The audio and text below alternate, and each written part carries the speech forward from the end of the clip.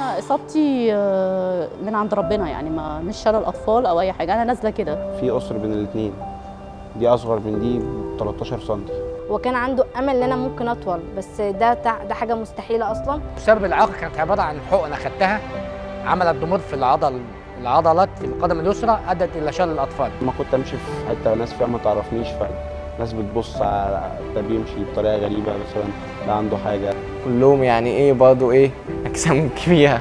أنت فاهم؟ كنت ساعتها طبعا هم يعتبر قد مرتين. في أيام كتير جدا كنت بنام وأنا معيطه أنا كنت فاكرة أنا بس.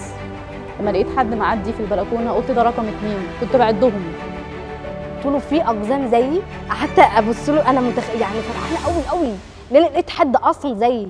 و- ونظرة بقى التنمر بقى إنك أنت مش زي الأصحاء. فأنت عندك حاجة ناقصة ما ينفعش تيجي عند الحاجات بتاعت الأصحاء. أنت بس يا دوب تخدم نفسك.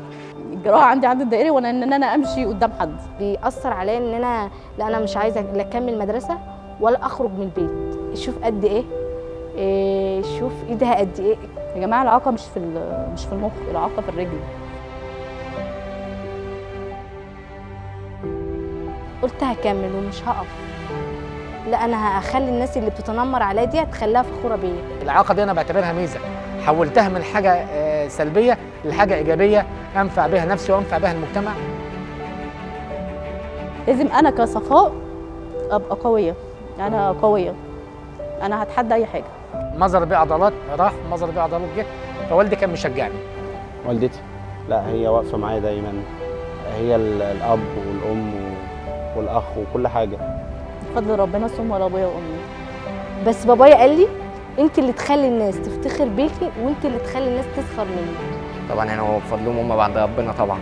عم بتعيط يعني. هي عيطت جامد وقتها أصلا وكانت مبسوطة وإن أنا عملت حاجة. هي مبسوطة بيها جدا. اللي هو إيه ده؟ حتى المدربين لما قالوا للكابتن بتاعي قالوا لي أنت مش معقول ده بيتمرن بقاله أسبوعين. قالوا له أنت جايب لنا بطل عالم. الموضوع فعلا ما كانش سهل بس لما بتحقق النجاح كل ده بيهون. أنا كنت بحلم إن أنا أشيل ال 60 كيلو. بحلم. ده حلم حياتي إن أنا أشيل 60 كيلو كده. دلوقتي بشيل 95 كيلو. يعني أنا اتمرنت أسبوعين بس الحمد لله. عملت ساعتها 87 كيلو.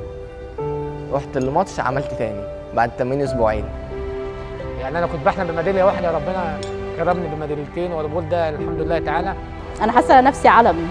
علم جوه علم. بصراحة كان عندي عقدة. إن أنا أحب. بس على فكرة حبيت واحد طويل وهو خطيبي دلوقتي بس الواحد لو ما عملش حاجة في الدنيا هيبقى موجود ليه؟